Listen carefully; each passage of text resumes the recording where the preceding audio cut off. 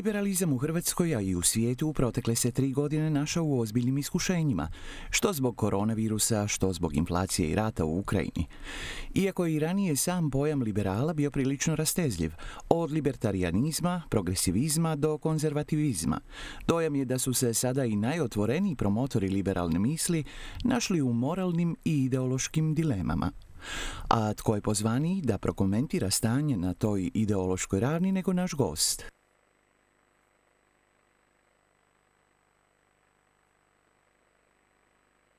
Glavni urednik portala Liberal, Mario Nakić. Kroz randevu vodi vas Ratko Martinović.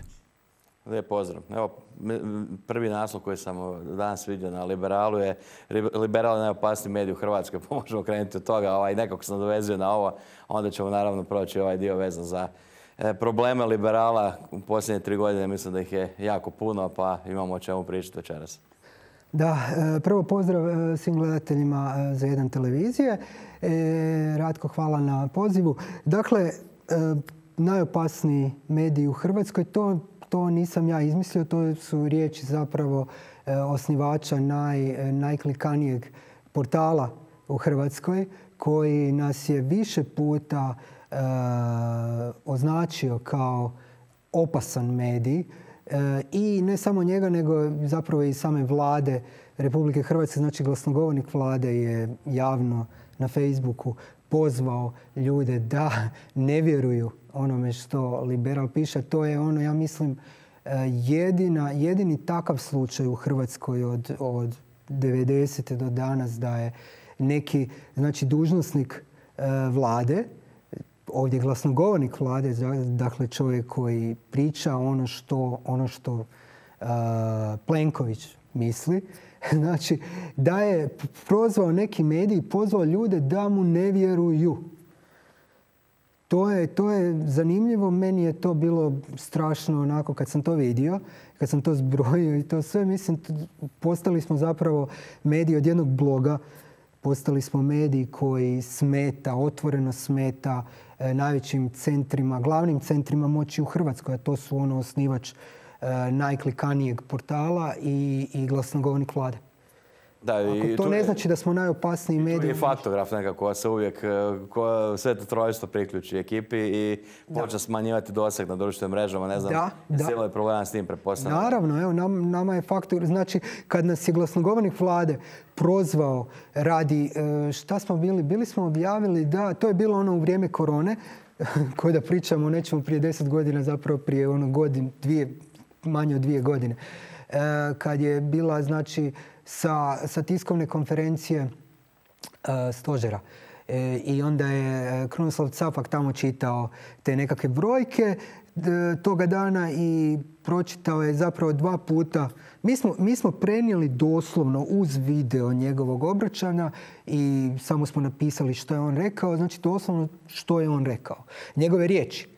I onda je tu glasnogovornik vlade skočio i nas prozvao da širimo lažne vijesti i da nam ljudi ne smiju vjerovati radi toga što je po njemu Capak nešto krivo pročitao tu. Capak je tu dao dva puta ponovio da je, da je hospitalizirano više necijepljenih nego cijepljenih. I nama je to bilo zanimljivo, čisto kao njegova izjava, ono, a ne sad, mislim, ako je, ako je on pogrešio, onda je on iznio lažne vijesti, a ne mi. Pa dobro, vidjeli smo, mislim, nekim drugim sad, u proteklih mjesec dana u randevu smo vidjeli one izjave, mislim da je sedmero osmero izjavljivalo na naslovicama novina da cijepivo 100% štiti od hospitalizacije, smrti. Iz naše perspektive to je teška lažna vijest, čak bi rekao i plaćena propaganda, no u tom trenutku ako bi se neko sarkastično narugao s time, bio bi, bio bi označen kao smanjen i smanjen mu doseg. Da, i dan nakon što je glasnogovornik vlade prozvao liberal, dan nakon toga faktograf nama označuje tu objavu kao lažnu vijest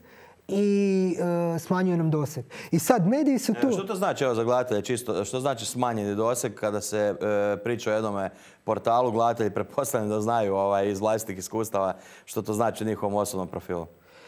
Pa to znači zapravo smanjen doseg da nam manje ljudi nakon toga i sve naše, ne samo tu objavu, nego i ostale objave sve manje ljudi će moći vidjeti jer kada faktograf ima tu moć, zapravo kada oni imaju od Facebooka su dobili tu, tu mogućnost. I oni kada označe neki, neku stranicu da širi lažne vijesti, onda, onda im smanji doseg i onda nakon toga e, zapravo manje ljudi može vidjeti naše vijesti. Samim time nam smanjuje rič, smanjuje nam uh, čitanost. Da, i čini mi se da je još jedan moment toga i e, autocenzura. Znači sljedeći puta ćete vjerojatno ne sad... Da, ne smijemo, ne smijemo to... promisliti generalno šta će se objaviti na određenom statusu postoje ili Ovo je sad jako opasno, nije samo više. Ja sam znao prije toga da mi ne smijemo objaviti ništa što nije ono uz nije, nije za cijepivo 100% i nismo pisali onda o cijepivu praktički skoro ništa. Ali, ali kada, kada ti preneseš vladinog dužnosnika, ono, mislim šta je, on je, on je u Zavodu za javno zdravstvo ravnatelj Hrvatskog zavoda za javno zdravstvo. Kada, preneseš doslovno njegovu izjavu od riječi do riječi, ti ispadneš širitelj lažnih vijesti. Zato što je on navodno nešto lažno. Ja smatram da on čak i nije tu lažno. Teško bi bilo da je čovjek dva puta još čita s papira i dva puta da krivo pročita. To, je, to mi je malo nerealno. Mislim da je on ispravne podatke pročitao, samo što su oni onda kasnije shvatili u vladi to da to nisu trebali tako dati u javnost, da to nije dobro, da je ispalo da je više hospitaliziranih koji su bili cijepljeni i to im nije bilo ono po volji. I onda su prozvali nas koji smo prenijeli njegovu izjavu doslovno nas za širenje lažnih vijesti. Da, evo, spomenuli smo taj najopasniji medij u Hrvatskoj. E, isto tako se taj pojam liberal Mislim da će baš u tom konkretnom statusu spominje i kao da je liberal zapravo u Hrvatskoj nešto sasvim drugo od onoga što je liberal u zapadnoj Europi i Sjedinjenim američkim državama, ali tako nešto bilo da su kod nas nekakvi najrubniji likovi liberali. To je Matija Babić, da, to je Matija Babić, on, on, ima tu, on ima tu tezu, on to tvrdi, pa mislim može svako provjeriti kakvi su naši stavovi na liberalu, može pročitati na našim stranicama. Dakle, sve što sve što liberal zastupa, što mi zastupamo, to je u skladu sa načelima klasičnog liberalizma koji, koji, e, koji, mi, koji mi zastupamo i to je to. Znači to su ono osobne slobode. Mi smo, mi smo objavili vjerojatno najviše tekstova u Hrvatskoj od svih medija i više i od indeksa i od svih drugih za e, znači prava manjina i prava e, LGBTQ populacije i za, i za prava imigranata. Čak ono više, na primjer, kritizirali smo i sam faktograf koji je pisao tekstove protiv imigranata kad je reč o radnoj imigraciji. Mi smo ih tu ispravili i, i znači branili prava imigranata. U kojem smjeru onda on ide u biti? To je nekako bolje pitanje. Ček je tek kakav fašizam spominjao. E, ne znam, za njega je fašizam... Desnica je crvena krpa, prepostavljam, pa je onda i nju ubacio. Gledaj, e, za njega je fašizam svako ko se u nečemu izrazi neki stav s kojim se on ne slaže. A njemu je tu bio ono čisto to što smo mi protiv e, lockdowna, što smo bili protiv covid potvrda, ne protiv cijepljenja, nego protiv covid potvrda. Što smo bili protiv obaveznog nošenja znači maski, znači protiv takvog zakona koji će kažnjavati ljude ako ne nose masku i to je pokazalo se. Mi smo bili 100% uz znanost, objavljivali smo sve svoje stavove uz znanstvena istraživanja i, i e, rezultate znanstvenih istraživanja i pokazalo se i danas i što više vrijeme bude prolazilo pokazat će se više da smo mi bili u pravu po tom pitanju. Međutim, to se nije bilo u skladu s onim što je e, taj gospodin promovirao u to vrijeme i on je imao, očito ima strašnu potrebu da onda nekoga koji izražava drugčije stavove da ga nekako uvrijedi i nekako, ne znam, ono valjda. To, to je njegov, njegov način, onda će ti on reći da si fašist i tako to, ali to nema apsolutno nikakve veze sa realnošću i ljudi mogu vidjeti na našim, na našim stranicama za što se mi zalažemo i vidjet će da su to načela klasičnog liberalizma. Da, pa mislim zabrana kretanja teško može u bilo kojem ovaj, e, smislu biti liberalizam. Da, naravno. To je onemogućavanje osobnih sloboda, onako, a za to se, Za to su, da, a za to su se praktički svi mainstream mediji u Hrvatskoj prije dvije godine žustro borili, tražili su zatvorene granice. Indeks je tražio da, se, e, da granice budu zatvorene, e, da, da se zabrani kretanje praktički ljudima i podržavali su te mjere koje su išle ka tome. Mi smo jedini... Bilo je ono dojavljivanje i na ovim e, benzinskim crpkama, koliko se ne varam, vezano za kupovinu.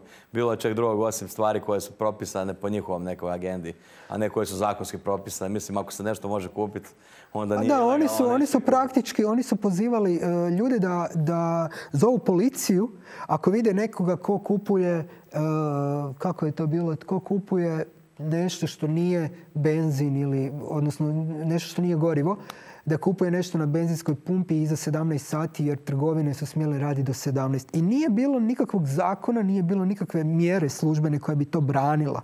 Ali oni su svejedno zvali, ono, pozvali doslovno u naslovu, pozvali e, ljude da zovu policiju. Sad se ja mislim ono koliko je to bilo nakon toga, koliko je to bilo pritisak na policiju, da su sigurno ljudi su tu povjerovali, bilo je sigurno dosta ljudi koji su im povjerovali onda su išli zvati policiju radi ničega. Radi doslovno ničega. Kuš mislim, užas. Da, ali ništa, ništa čudno. Ovaj. Kako bi ti legendarni e, liberali e, uopće gledali na lockdown, pretpostavljam. Misliš klasični liberali, ono stari liberali iz 19. se mogla izvući nekakva konstrukcija, ne do duše pomoć umjetne inteligencije koja sve češće krive konstrukcije daje, ali je, kažem, iz neke perspektive tako filozofske, logičke. E, pa moje mišljenje da bi oni bili protiv, zato što, na primjer, John Stuart Mill, on je e, poznati klasični liberal, britanski filozof e, i po mnogima začetnik socijalnog liberalizma, jer je čak u nekim stvarima i u ekonomiji, u jednom dijelu života naginjao dosta i lijevo.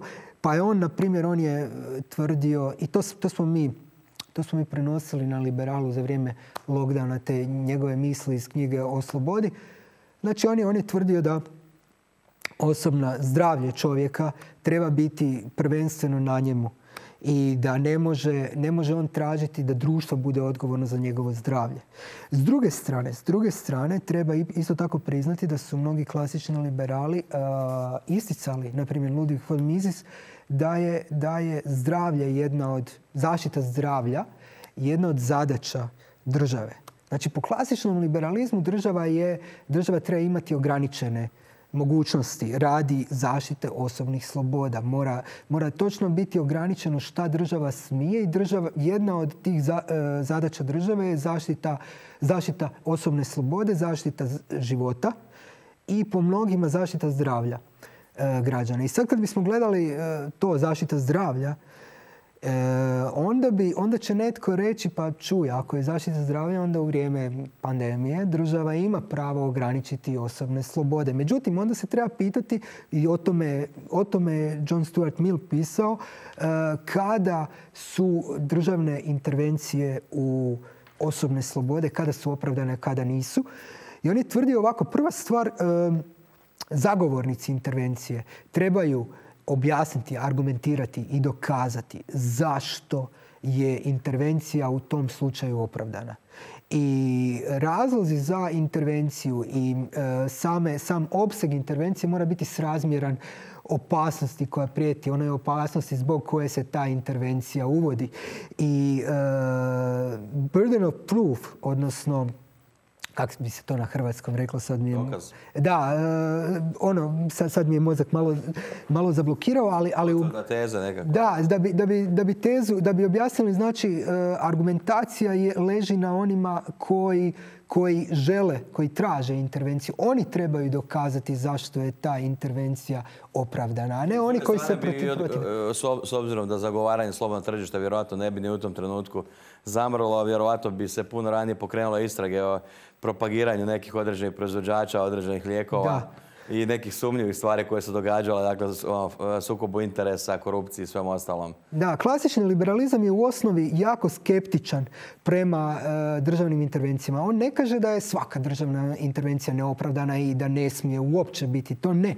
Znači, postoje intervencije koje jesu opravdane, ali ako jesu, onda ih trebate jako dobro argumentirati, trebate podasirati jako dobre dokaze zašto i ona treba biti ograničena da bude srazmjerna opasnosti. Ja u ovom slučaju što se tiče konkretno lockdowna i covid potvrda e, nisam vidio te argumente i dokaze zašto bi i niti ih iko pokušao uopće uopće objasniti zašto je to toliko opravdano i zašto, zašto, bi, zašto se to trebalo uvoditi. Pa da, sad se mislim da se javna rasprava polako pokrenula, iako kažem možda dvije godine prekasno, prekasno i tri godine prekasno. Da. Dvije i, I to gdje? U Britaniji su je pokrenuli. Kod nas još ne. Kod nas još ne smiješ. Ti ako pokreneš, probaš pokrenuti javnu raspravu, uletit će ti faktografi na Facebooku, će te, će te kazniti odmah. Kuć, tako da ono ne smiješ, ti još uvijek ne smiješ otvoreno o tome pisati. Pa da, zanimljivo da su, da su baš liberali, oni koji su najviše javno sami sebe nazivaju liberalima, ovo što su međusobne okršaje, blokade na društvenim mrežama su postale uobičajene. E, dosta prijateljstava se izgubilo. Da, da. I tu, e, nažalost, tu se i kod nas dogodilo isto na liberalu među, među ekipom koja je jednostavno koja je vjerovala od početka. Da. Mislim da je tu došlo zbog toga kako su doživjeli e, tu epidemiju. Znači, nije pitanje imali država pravo e, uvesti nekad neke restrikcije. Ima. Ali te restrikcije moraju biti stvarno opravdane. I sad je samo bilo pitanje jesu li u ovom slučaju opravdane ili ne. I tu je e, radi čega smo se mi zapravo, e, radi čega su se liberali međusobno e, tu odvojili, je, je ta jednostavna stvar kako su doživjeli tu koronu. Imaš ekipu, im postoje neki novinari za koje znam, neću ih sad spominjati, ali zna se, mislim, koji, su, koji nisu htjeli uopće izaći iz stana dok ne dođe cjepivo jer su se toliko se bojali tog virusa. S druge strane, ja, ja sam isto priznajem da na početku nisam znao ono, kad, kad je to izašlo i kad su izašle prve vijesti, ne znaš. Ne znaš o čemu se radi, ne znaš koliko je to opasno. Možda stvarno je tako opasno da, ono, da, da, da ima nekakvu visoku stopu smrtnosti, bla, bla, i trebaš biti oprezan. Međutim, onda kad su, došla, kad su došli rezultati prvih istraživanja iz Italije i iz, iz uh, Kine, to je bilo već sredinom ožujka 2020. To je bilo čak, ja mislim, prije uvođenja lockdowna. Su došli ti rezultati i vidjelo se tada već da taj virus ima izrazito nisku stopu smrtnosti i još važnija stvar da je prosječna dob eh, hospitaliziranih i prosječna dob onih koji, prosječna dob zapravo onih koji su umrli od tog virusa, da je eh, viša iznad prosječne dobi inače smrtnosti e, među ljudima. Tako da je znači ono, znači taj virus ubija zapravo starije od onih koji prosječno umiru ono, od svega. A da, ali čini mi se da taj osobni moment e, utjecao na e, ljudsko razmišljanje što je sasvim logično. Da, ovaj. da, neki su se ljudi jednostavno previše... u obitelji pa su se potom promijenili malo ideologiju. Moguće i Iako nisu htjeli priznat naravno i sad s vremenskim odmakom ne žele da, ali to opet... Utjecalo, što je, kažem, to je nekako ljudski logično, da. Pa donekle je, ali s druge strane trebati gledati isto, čovjek se mora mora se znati, pogotovo onaj ko se smatra liberalom, trebao bi se znati uh, izaći iz svoje vlastite perspektive, malo šire i pogled, sagledati širu sliku. širu sliku, da, racionalno. Ljevica, ljevica parazitira najviše na toj lažnoj emociji, onako. Da uh, Liberali bi trebali biti, da, liberali bi trebali sagledati šire pa pogledati ono koliko će te mjere koje se uvode imati negativni, negativne aspekte na druge stvari. Ne samo, ne pričamo samo o tom jednom virusu i to jednom postoje čitav niz ono različitih bolesti od kojih ljudi umiru. Kako će lockdown utjecati na to? Kako će lockdown utjecati na, psi, e, na psihu ljudi? Kako će te vijesti koje ljudi svaki dan gledaju, koje ih zastrašuju, kako će utjecati na psihu ljudi? Kako će utjecati na djecu, na mlade, kako će utjecati to što ne smiju izlaziti van. E, masu tih pitanja, kako će utjecati na ekonomiju. Ekonomija se jedno vrijeme uopće nije smjela spominjati jer se govorilo ono kao Poslala nam Europska unija puno para. Da, i ono, i kao zdravlje, sad moramo paziti na zdravlje. Ovaj, da. da, ali ja sam rekao, pa čujte, ekonomija je život. Kao rekli su, rekli su sad moramo paziti na živote. Nije sad pitanje ekonomije, ali ekonomija je dio života. Ekonomija je život, to je dio života. I to se sad, sad se to vidi jer ono... Ne, čak meni, meni čak nije ni to, ok, ne moramo sad paziti na ekonomiju, ali onda se treba prihvatiti odgovornost danas. Nismo tad pazili, znali smo da će nam doći na naplatu i to otvoreno priznati. Ja mislim da tu ne bi, naravno da bi se ljudi žalili, ali bi nekako i shvatio da se neko u trenutku panike drugačije ponašao. Rekao bi da druga strana, ne samo u Hrvatskoj, nego bilo gdje u svijetu, ne žele uopće priznati da je to usko povezano. E, lockdown, e, inflacija, nego I sad krive, sad krive Rusiju i to, jer donekle, donekle Rusija može biti krivac za, za tu globalnu inflaciju, ali samo do određene mjere ta inflacija ne bi uopće bila tolika da je samo do tog rata. E, ako se inflacija sama po sebi znači odnos između e, količine novca na tržištu i e, ponuđene robe i usluga. A ako se količina novca povećava, onda će se cijena robe i usluga normalno povećati. Sad treba samo vidjeti kad su Europska središnja banka i Fed, američki Fed, kad su povećali e, emitiranje novca i kad je došlo do, te, do tog poplavljenja tržišta novca.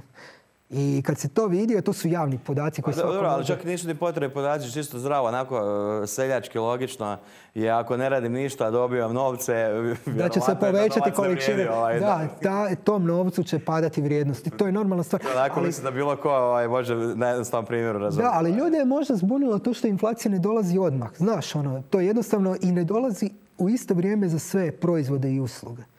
Nego jednostavno to, to ide, to je lančana reakcija.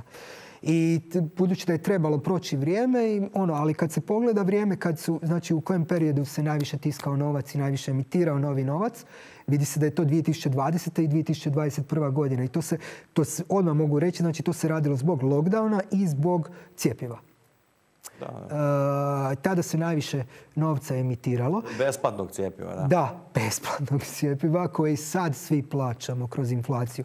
I kako se zove, to su glavni razlozi inflacije. Ovo sve ostalo je ono utjecalo, ali ovo su glavni razlozi inflacije u svijetu. I to ne znam zašto se, ma mislim znam zašto se izbjegavaju i političari i mediji izbjegavaju to reći, zato što bi se onda ljudi bi onda pitali, uprli prstom u njih i rekli vi ste krivi za inflaciju jer su oni na tome toliko inzistirali.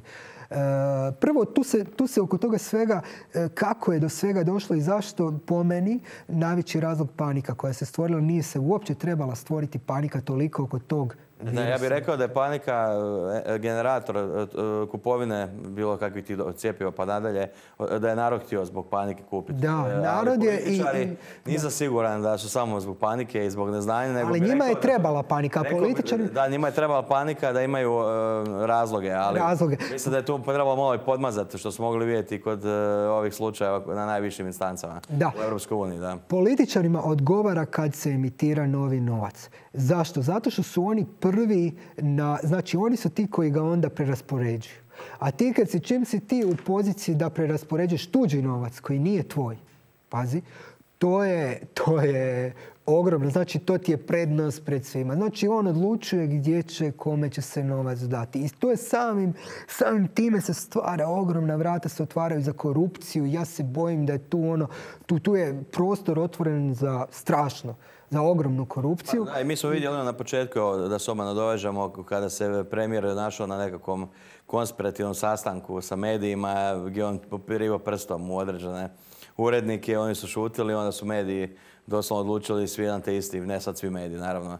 Neke i televizije i portali nisu, evo tu smo da i pričamo o takvim stvarima, ali čini mi se da je velika većina odlučila pogledati u taj jedan te isti a evo kažem sad e, relativno aktualna situacija da se curenje informacija će se razmatrati ako prođe naravno taj zakon kao kazneno djelo, pa onda na tim konspirativnim sastancima stvarno nećemo moći ni iznijeti ništa što smo tamo dogovorili.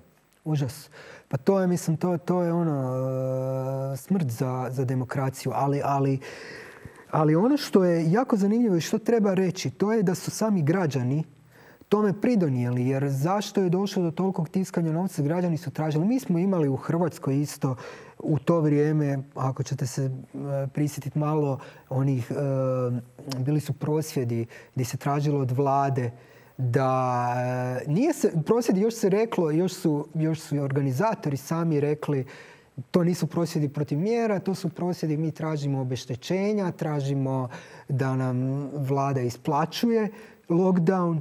A otkud će taj novac doći što će vlada isplaćivati? I sad ljudi ne kuže, ne razumiju. viška novaca. Da, ljudi, ljudi misle, pa gle, dobro je, trebalo nam je, ja se slažem, trebalo nam je, trebalo je, trebalo je svakome da preživi. Sve to stoji. Sve to stoji. Međutim, to je nezarađeni novac i ljudi ne kuže da kad dođe do, i, e, do tolikog e, emitiranja novca, oni su to, oni su to uzeli za kao kao izgovor da mogu emitirati toliko novca. Oni će reći, gle, mi smo to emitirali da bismo isplaćivali ljude u lockdownu, da bi ljudi mogli preživjeti u lockdownu. I to je ono legitimni, legitimni razlog.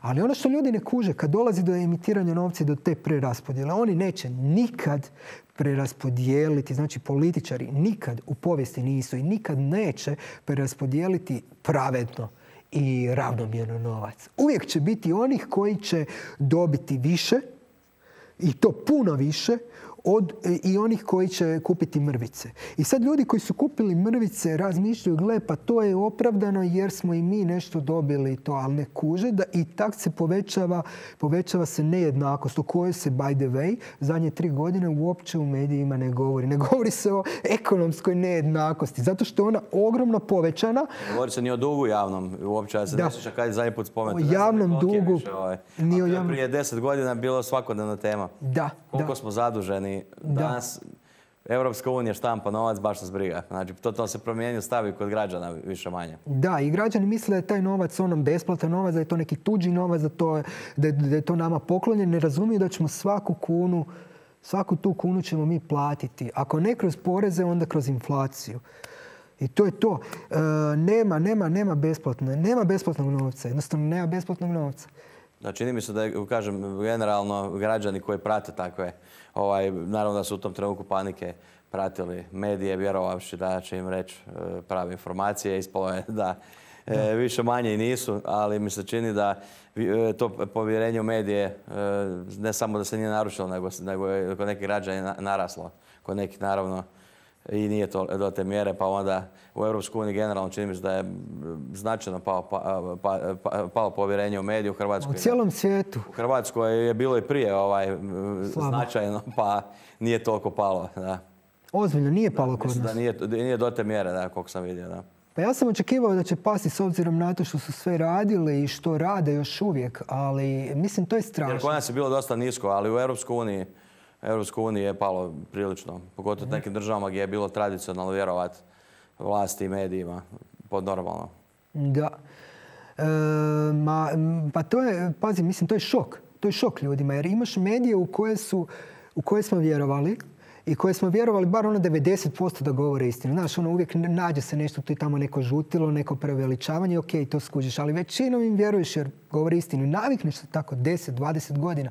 Ista stvar kao sa društvenim mrežama. To su te korporacije i to koje su svaka čast ono iz ničega napravile nešto, na primjer Facebook, ona Meta i to, to svaka čast, mislim, Mark Zuckerberg sve što je zaradio, zaradio je pošteno, ja mu skidam kapu i njemu i mnogim drugim ovim novim milijarderima koji su to postigli jer su napravili nešto i napravili su nešto korisno, nešto što je masa ljudi, ono veći dio svijeta koristi i jako nam koristi. Međutim, šta se onda dogodi? Te korporacije narastu. Narastu do te razine da postanu praktički neophodne za veći dio ljudi i to nam pređe u naviku. platforma, da. Da, jer prešli su nam u naviku. Jednom kad ti pređe u naviku, to ti je ko navika, jako je teško skinuti se sa cigareta, na primjer tako je teško skinuti se i sa Facebooka. Jako teško. E, jer to je stvar ono, jednostavno navike, uđeti pod kožu i to. I pogotovo ljudima koji su na tim društvenim mrežima stvorili posao cijeli. I šta se dogodi onda? Odjednom te društvene mreže koje do 2016. do 2017. stvarno su bile toliko slobode da si mogao tamo pisati šta hoćeš kužiš. I ono, izuzev, izuzev onih baš ono, ono što treba biti zabranjeno, znači ono, ne možeš pozivati sad na nasilje nekako i to, to je bilo zabranjeno i to je ok, to i treba biti zabranjeno. Ali kužiš, oni su uh, e, 2017. nakon američkih izbora i toga svega, oni su postali odjednom protiv, protiv slobode, protiv e, svojih korisnika. I ono što danas, recimo, nemaš čovjeka korisnika Facebooka koji je htio nešto ili napisao nešto, samo propitivao ove mjere koje su bile oko korone ili sad klimatske promjene i to. Bilo šta da napišeš što bi samo postaviš neko pitanje koje nije njima po, po mjeri, bit ćeš kažnjen. Bićeš kažnjen, ono, bit ćeš kažnjen, ono, tjedan dana ne smijeti ništa objavljivati takve stvari.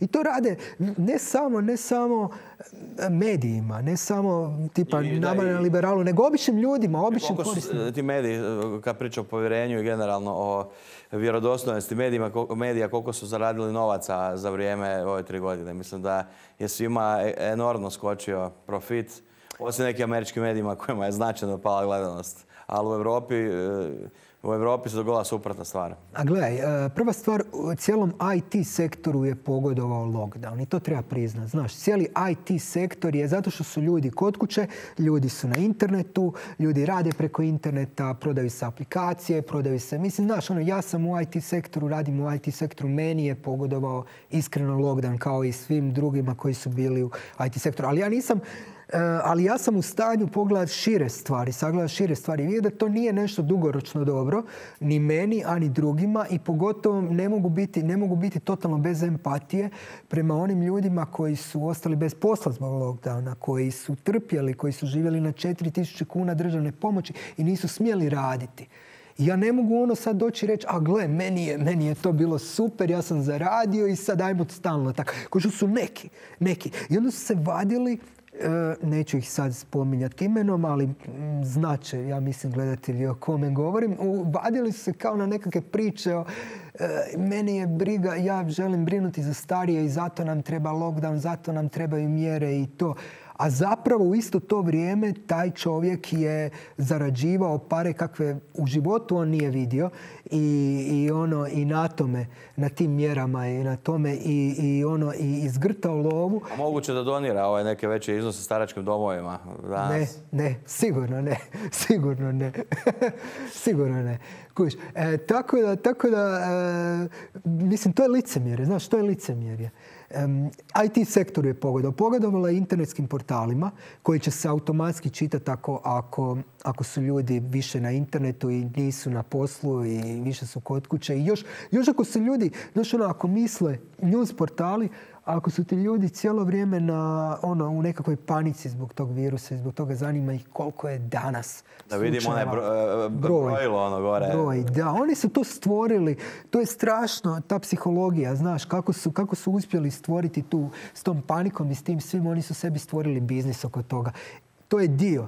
Drugi dio je onaj što ono ne možemo dokazati i što niko nažalost ne istražuje, ja ne znam zašto. Mislim da postoje institucije državne koje bi trebale po defaultu te stvari istraživati jer ima, postoji jako puno naznaka za time, a to je da su mediji potplaćeni od strane ehm, industrije farmaceutske industrije, što je, i to isto one industrije... U Americi to, e, mislim, nećemo e, doznat koliko konkretno, ali mislim da je to činjenica, jer 70% ukupno novca ide na farmaceutske industrije ide na promociju, da. promociju, reklamu.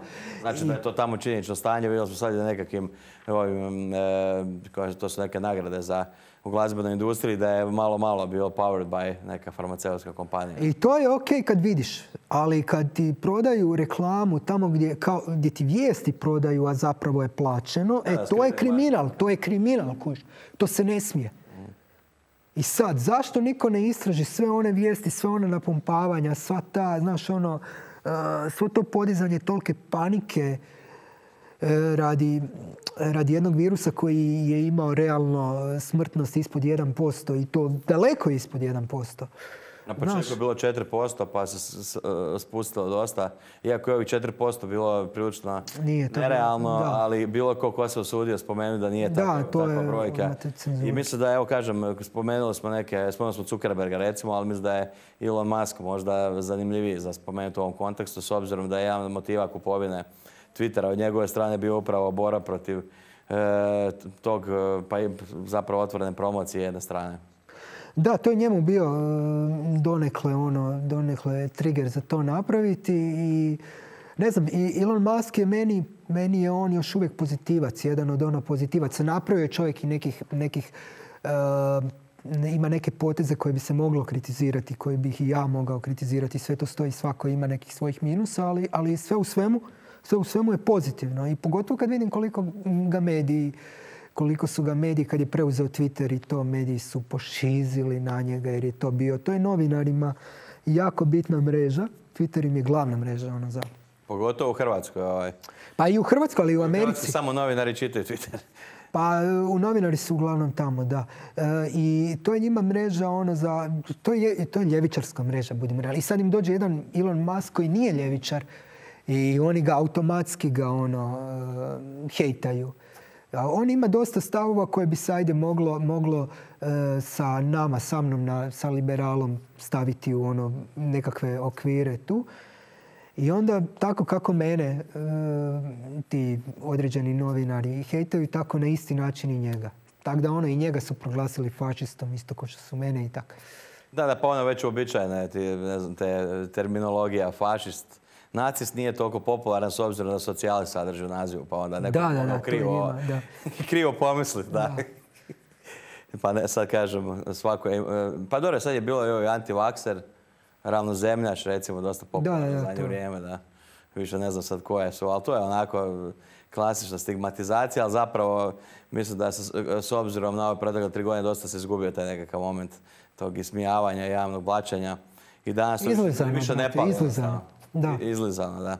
E, nešto sam ranije još htio pitati, e, preći isto jedan, jedan termin koji je meni interesantan, ali e, savršeno se uklapa ovu priču, a to je extra profit. E, što uopće znači extra profit i zašto isto tako je javno mijenje protiv ekstra profita, a rekao bi jedan dobar dio medija, novinara, pa i twitteraša, zar nije svaki profit ekstra? Jer je profit. Gle, e, tu, tu sad, tu, to je filozofska, filozofska tema jer e, nju je započeo zapravo Karl Marx. I on je u, u kapitalu, da, u kapitalu je on e, pisao o super, on je to nazivao super profit.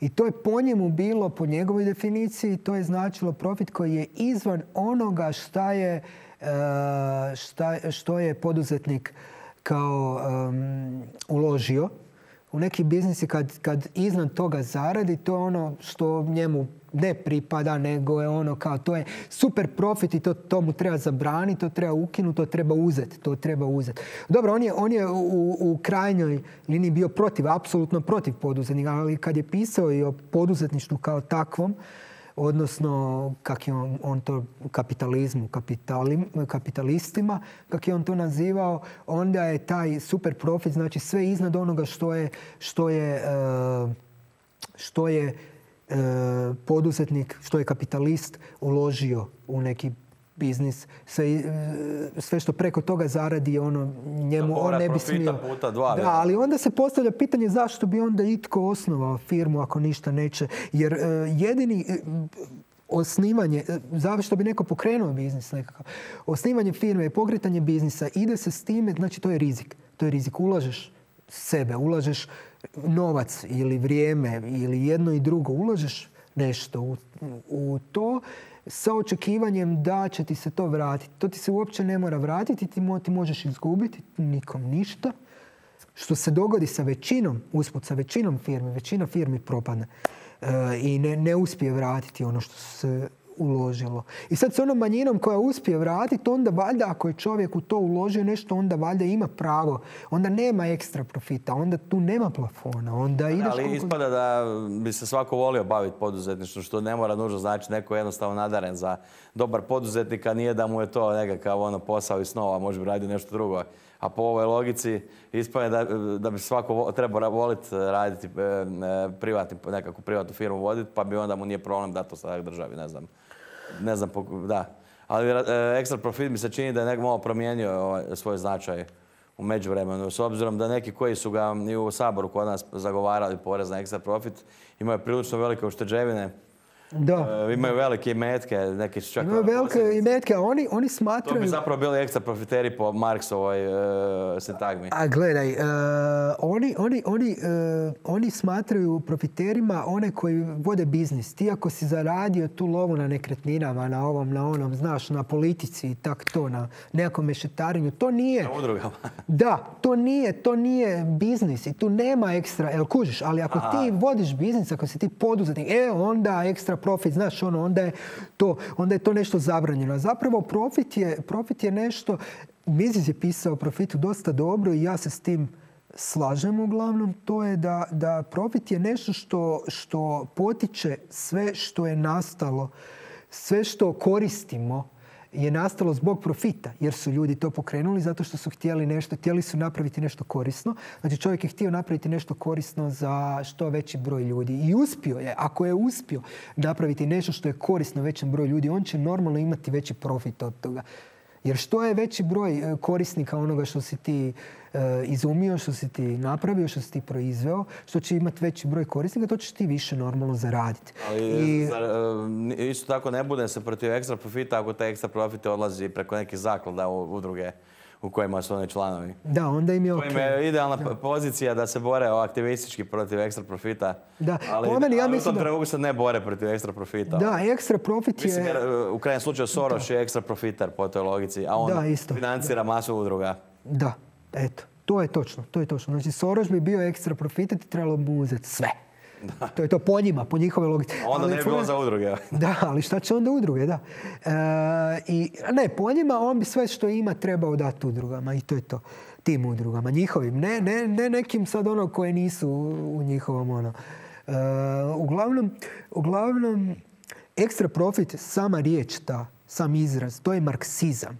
Znači, taj izraz je marksizam. Kad vidite da neko spominje ekstra profit, to je, znate, to je automatski, znate, ljevičar, marksist, to je to. Bez obzira, čak i da nije čitao Marksa, on je, znači, marksizam je na njega utjecao nekak i to je to. Jer to je plod te ideologije. Da, slaže se i napad na poduzetništvo. Da, automatski. To, a to je ta ideologija.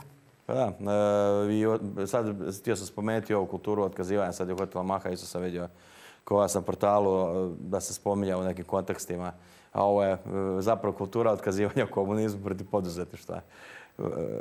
E, je bora protiv e, privatnika, ekstra profita i ostalo. Ali sad kažem, čini mi se da se taj, isto mi je otkazivanje kao tako ima elemente u komunizmu, s obzirom da je tamo bilo otkazivanje sa povijesnih fotografija a onda da ne pričamo svemu ostalom. A gledaj, svaki totalitarizam, pa svaki, nadalje, da. svaki totalitarizam je e, na kulturi otkazivanja je, je, e, se temelji. Ona ima, jedan od stupova mu je otkazivanje. Svaki totalitarizam, ne samo lijevi totalitarizam, ne samo komunizam, svaki, znači i nacizam je to radio, i fašizam je to radio. Svaki totalitarizam i svako ko teži tome ide. Znači, kultura otkazivanja nije ljevičarska stvar. Iako je sam taj naziv su pokrenuli desničari i koriste ga u tom smislu kad žele kritizirati ljevicu, ali treba reći da to rade čak i kod nas i kod nas i u Americi e, koriste kulturu otkazivanja desničari jednako, ako ne i više nego ljevica. Dobro, da, otkazivanje još iz Grčke više element. Kasnije je bilo disidentstvo, znači kad bi u komunizmu ili nacizmu E, u nacizmu je to progon ili smrt, e, u komunizmu najčešće e, protjeravanje iz države. Da, ali to ima... događa nešto tipično kao u Grčkoj, znači nekog se otkaže, on ima pravo biti blizu polisa, ali nema pravo sudjelovati u nekakvom javnom životu više. Da, tu ima različitih, da, ima različitih, ima različitih, kako se zove, različitih načina i te kulture, različitih verzija. U Americi u društvu koje je današnje društvo u Americi, na primjer, oni imaju taj prvi amandman, sloboda govora apsolutno zaštićena. Ti tamo nećeš dobiti kaznu da, da dođeš, da, da se obučeš u ono, nacističku uniformu, da nosiš nacističku zastavu po gradu, nećeš zbog toga biti kažnjen. I šta se onda događa? Onda ti oni moraju imati neki društveni način da društvo bez državne kazne, bez državnog zakona, društvo kazni onoga ko se, e, ko se ponaša ružno prema, na toj osnovi, znači na tim nekim osnovama nacističkim ili e, homofobnim ili tak nekim. Znači neko da ti dođe i sada ti neko javno promiče, ne znam, ono, priča, širi, širi e, nekakve, nekakve ružne stvari i protiv, na primjer, gejeva, protiv, na primjer, crnaca, protiv neke skupine, neke manjinske skupine koju, koju, na koju je lako... Koliko Kanye West, sve. pa da, i, tako ne, i onda ti tu dođe i tu onda mora društvo nekako reagirati. Jer ga zakon neće kazniti.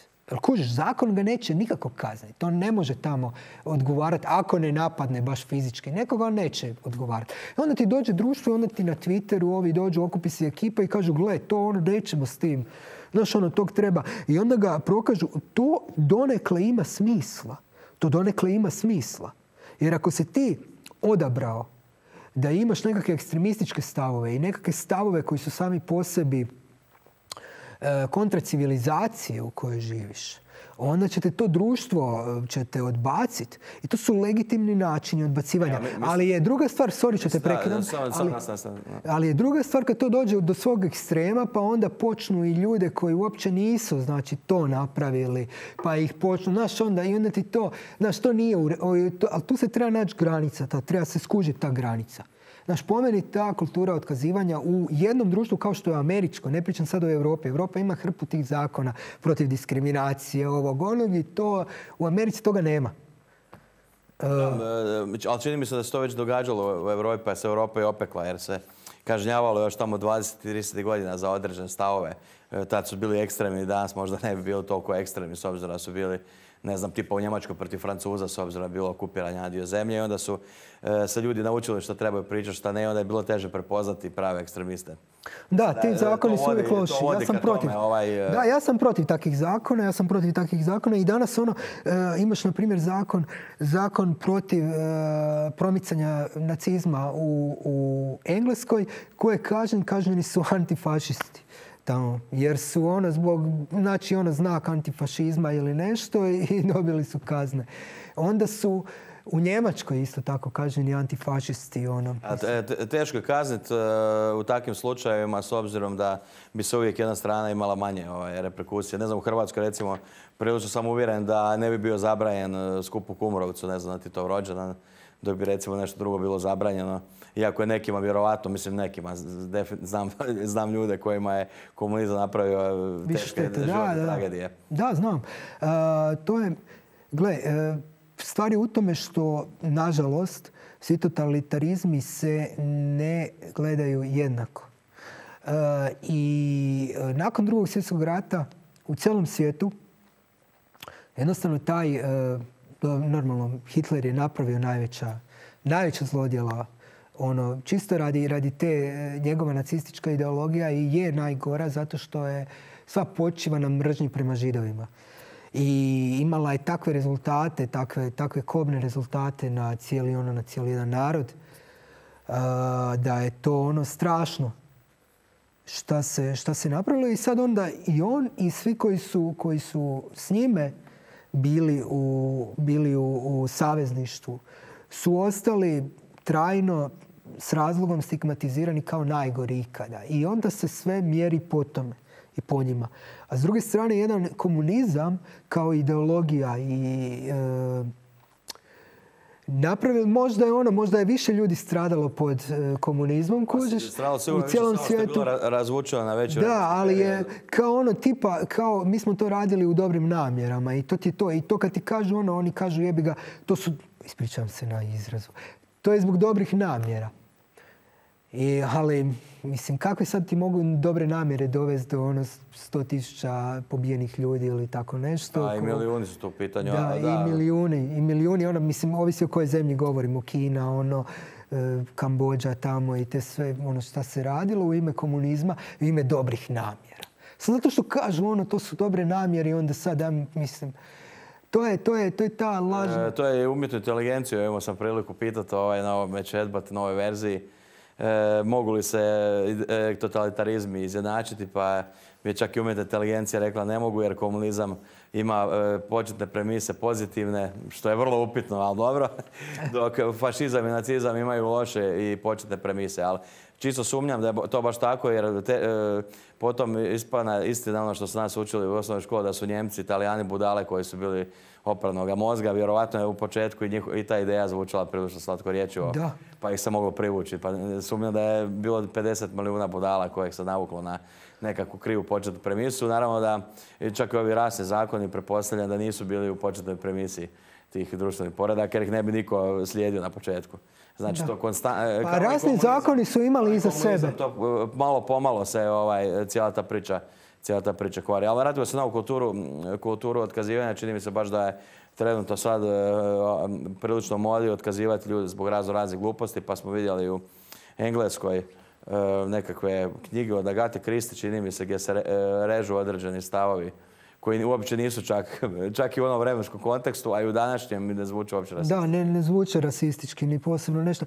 Nego stvari u tome jednostavno... Ovo je novogovor, bi rekao. Da, da užas. E, to, je, to je, ne znam kako bi to opisao, ne može se umjetnost, umjetnost mora se staviti u svoje vrijeme i kao takvu se gledati. Znači umjetnost iz, ne znam, 17. 18. 19. 20. stoljeća znači, zna se kako je tada bilo vrijeme, kakvi su bili ono normalni stavovi u to vrijeme i kroz to se treba e, promatrati ta dijela. A ne ih mijenjati sad i prilagođavati današnjem vremenu. To, to je baš, baš, ne znam, ne znam kako bi to opisao, jako loše, jako loše jako loše da se to radi. Pa brisanje prošlosti, mislim. Da, pokušava se ono obrisati prošlost, kao ono nije se to da se, znaš, ono. A i ne, znam koji je motiv, da. Čini mi se da, da, Engle... Nekakva korektnost, kao politička korektnost. Teško da će Englezi popraviti svijet, imidž u svijetu sa brisanjem par riječi iz određenih knjiga.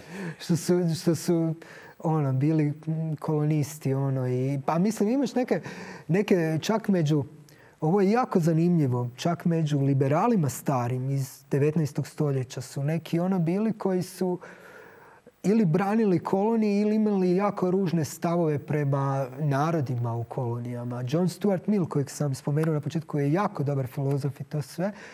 Je imao neke te ružne stavove koje je on pisao. On je zvao stanovnike kolonija divljaci. Doslovno ih je tako zvao. I to mu je, na primjer, Mizis mu je jako zamjerio, ali Mizis je živio u drugom vremenu, ono skoro sto godina kasnije. I e, on je zamirio njemu i to i stavove o socijalizmu i to, te neke stvari, ali, ali to je zanimljivo. Pa dobro, ali iz principa nekoga ko gleda na društvo kao nekakvu e, organiziranu strukturu, naravno da će biti divljak nekog ko nema neke civilizacijske norme iz njegove perspektive. E, donekle, to se može tako donekle gledati, ali s druge strane pitanje, postavlja se onda pitanje je li on ima te civilizacijske norme, norme zato što je njemu to tako nametnuto, zato što je njemu došao Engles silom, kužiš silom i nametnuo ili, znaš, jedini je liberalan stav u to vrijeme trebao biti i to je Mises napisao, e, to je bilo ono 1912. godine, još su kolonije masovno ono postojale i to sve da svaki čovjek koji je za mir, koji želi biti za trajan mir, mora biti za slobodno tržište i protiv, odnosno e, za ukidanje svih kolonija i političkih vlasti ovih matičnih država nad, nad kolonijama. Da jednostavno mora biti za to ako želi mir. Jer takvo stanje kako je tada bilo, to on već tada predvidio, će dovesti do, i brzo je dovelo do onog prvog svjetskog rata, dovesti do ratova e, zbog kolonija i sa kolonijama samim. Pa dobro, sad se u Europskoj pa možemo s tim nekako i za zaključiti randevu. Isto tako se na Liberalu dosta piše o tome da se sad stanovništvo tih bivših kolonija dolazi u Europu i događa se, događaju se ove one stvari. E, sad naravno desnica ima svoju e, tezu, ljevica ima opet svoju tezu. A liberali pretpostavljam da se žele pronaći negdje u sredini. Gle, liberali imaju uvijek što se toga tiče, što se tiče granica, za otvorene granice, znači za slobodan protok ljudi, kapitala i robe. To je liberalizam. ali, ali, ali s druge strane isto tako moramo shvatiti da većina problema koji su što se tiče imigracije u Europi nastali, nastali su dijelom zbog tih kolonija iz prošlosti i drugi dio je taj što socijalna država Dakle, europske su države postale previše socijalne i e, ako ti daš ljudima da ne moraju raditi, a da primaju hrpu, hrpu tih, ne znam, ono, e, benefita, onda će ti doći ljudi koji neće htjeti raditi. S druge strane, kad gledaš jesi ti, ja tu, ja tu, ne, ja tu uopće ne dijelim te imigrante na imigrante koji su došli odavde, imigrante koji su ove boje kože, one ne.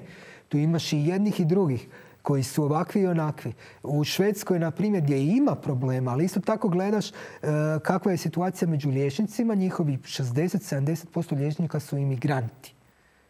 A ti liječnici su njima omogućili da imaju užasno dobro, znači strašno dobro javno zdravstvo koje je bolje od našeg, imaju puno više zaposlenih e, liječnika i medicinskih sestara e, na 100.000 stanovnika nego mi. Znači imaju bolje, dostupnije zdravstvo, jeftinije, jeftinije zdravstvo, samo zato što im rade imigranti.